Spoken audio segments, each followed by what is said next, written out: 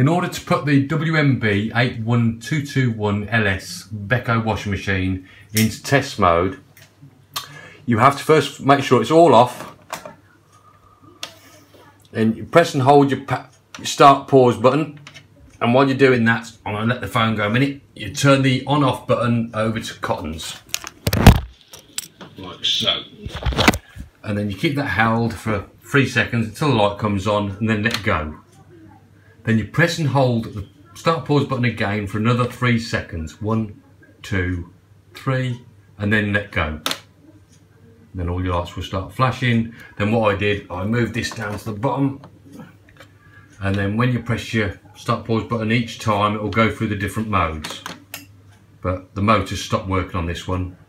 So I think you'll find that until we sort the motor out, it's not going to do most of the modes. It will fill up the machine. Drain. And it will drain the machine.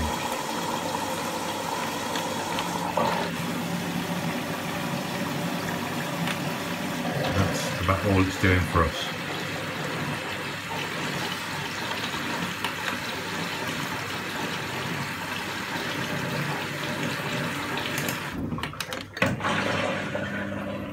So the drum itself is not spinning at all in any way, shape or form.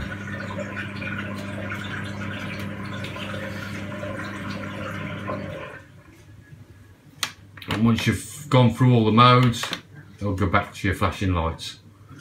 There you have it.